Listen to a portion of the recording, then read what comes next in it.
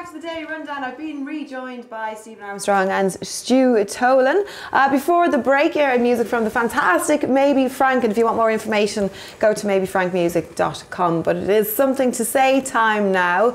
And this is where the floor is open to my fantastically opinionated guests. They're going to tell us something that might have caught their attention this week, or they might have a little rant, or they might feel the need to just express themselves in some way. Maybe not with a full album released on Tidal, but as you express yourselves as you see fit. Who, who's going first this evening? How did, Who's got, I mean, I'm, how did you work? wanna we rock, paper, scissors Sorry. this? How Yeah, does- okay. How does it work? One, two, three. Ah, Ah. scissors. I blood You- your you scissors. won. I'll go Best of first. three, Right, okay. best of three. Uh, Go on, I okay, exactly let's um. Mine is I want to give away intricate details of everything that happened on Game of Thrones. Uh-oh. That's a lie. I want to talk about Game of Thrones, but what I want to talk about is that I Carefully. live. I've seen it, actually, No, yeah, yeah. I, I, yes, I'm, I'm aware of the, the, the, the danger that I take in, in my life in my own hands. The issue I want to talk about is that I find myself in the really um, awkward situation of I've read all of the books and I've seen the TV show. Right. So I'm up to date in both worlds. Right. And it really frustrates me because I now don't know. I have this really weird thing where there are some friends I can talk about what happened in the books, and some friends I can talk about what happened in the TV show because Right. obviously it came back. it came back uh, this series, uh, and the first episode was called "The Red Woman," uh, and that is not a spoiler because it's a matter of public fact. And that is all of the information I'm going to give you about that. Difficult. Sounds It very is. Fifty Shades of Grey. It is, is Uh, as a, rumoured. Yes, yes. I've As. I've said, Uh, it's, it's very much like, as I say, like Lord of the Rings, but with the, the, the free ten minutes you get every night on those on those channels that you Hello. isn't meant to make you look at. Dee, dee, dee, Uh, but it is dee, dee, just, dee. I think. It's just confusing for me because I'm left in this world where there are some people I can talk to about one thing and some people I can talk to about another thing, and it's just. Talk I think to that- nobody. yes, but that wouldn't work as a guest on a TV show. Um, but I, I, it, I think that they should either be like the books. Or they should just say, right, we're going to be completely different because now you have people who have information on certain things, and in the TV show, there are people who are alive that aren't alive in the books, and there are people who have not been in the TV show that have So been in are you saying now? I'm in danger here of committing to this and maybe Yes. drawing you out, but. Uh, uh, so is, are, are, is the program not entirely accurate? So it's not representative of the book. It's well.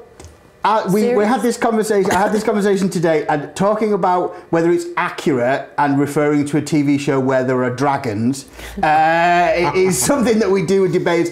I think it's just it seems to be that, that this frustration that either I think we should. What I'm saying is we should either stop the TV show until George R. R. Martin has written all of the books, so that people can read all of the books and know what happens, and then go right, okay, because it's in danger of just becoming another Lost, where you just get the they can just sort of go, yeah, well, this happened, and then what I like to refer to as the charmed theory, which is when they paint themselves into a corner and they go, ah, no, but if a pig rides past the castle on a Thursday playing INXS's Suicide Blonde on on 33 repetition, and then then that's it. It, it just seems to be. I just it, what I'm basically, as most of my something to say is, ah, it's, it's just the world should just be more like I want it to be.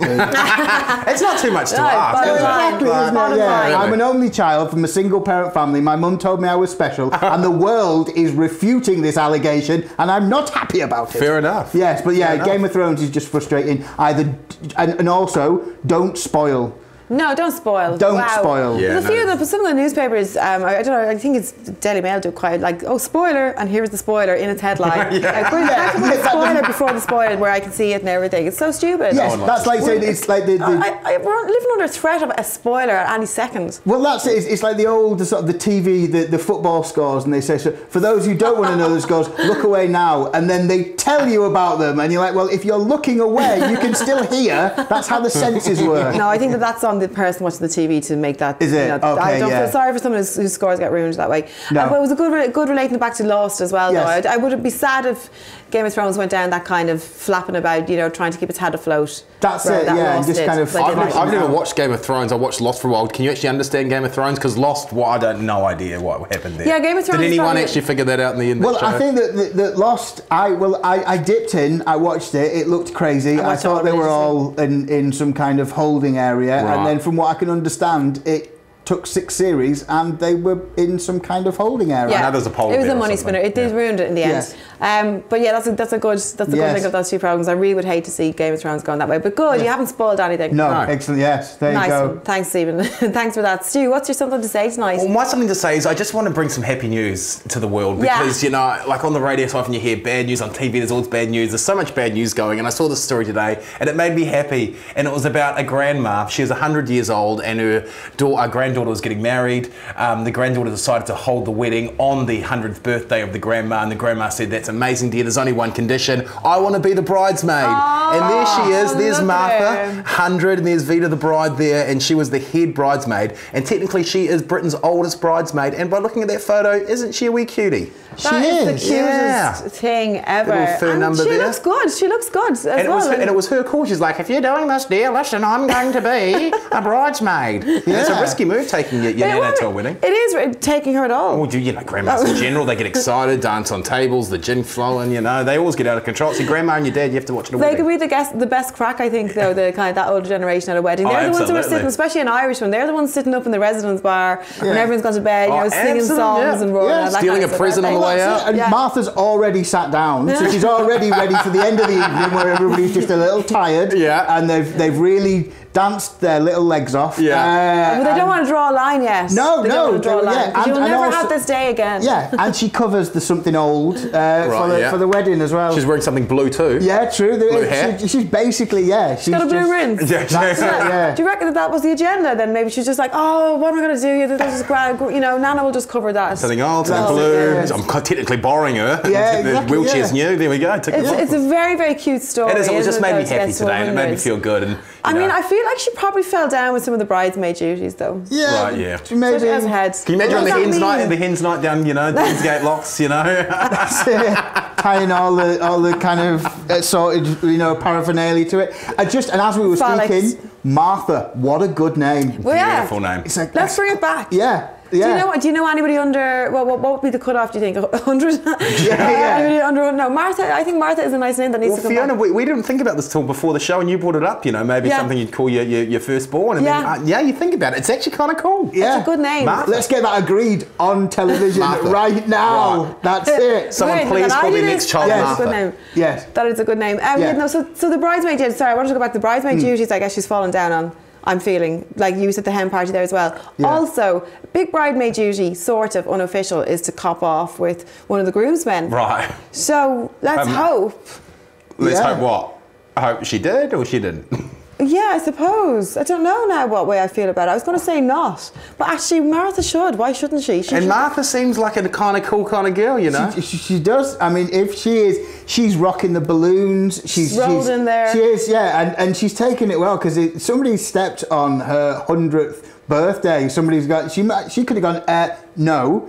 Uh, you can get married lots of times because we all know about your. I'm not, you, but you know, the, the, Martha could say to her granddaughter, "Well, you, Missy, will get married a lot of times, where I am only going to be hundred once because That's a that's, how really numbers good work." Oh, hey. That's Let it, me yeah. show She is only going to be 100 once, though. That's Yeah, fair that's enough. true. too. She That's is, true. yeah. That's a really good point, actually. Though. I think it was really unselfish of, of Martha to, to sort of, you know, let them have the wedding on that day. I wasn't even considering from that point of view. Yeah. I was thinking, what a lovely unselfish bride letting the older woman come in and all. How horrible am I, like, like assessing the situation?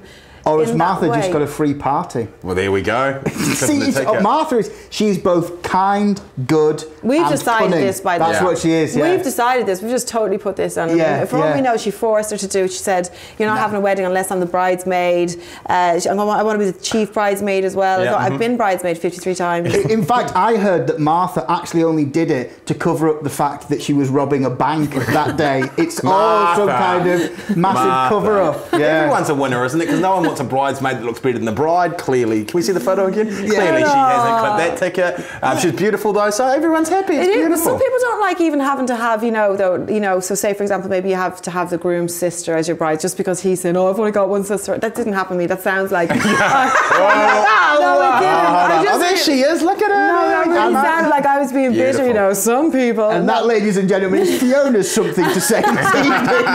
No, but it happens the other way around, uh, Yeah. around as well, doesn't it? You know, maybe you have to have, you know, um, the, oh, the brother, the, the bride's hmm. brother, as a groomsman or something like this. So people don't always take too well to kind of having those that Yeah. foursome on their, their, their, their bridal party. This so is th- th- amazing. this bride did well. And girls who live into 100, like I can't even Well, imagine. sorry, that's the big story, isn't it? I can't imagine Yeah. living to 100. No, Just- not the way if I makes live my my life. But we all will now, isn't that the whole you know science and paleo diet and coconut water? Yeah, the coconut water. You're- It's, it's good. It's You'll healthy. get to 100. I've never, I I've had coconut water before. It's- I've never heard. I've never heard coconut water be heard, be used as an accusation. I put it to you, Stu. Coconut water. Guilty.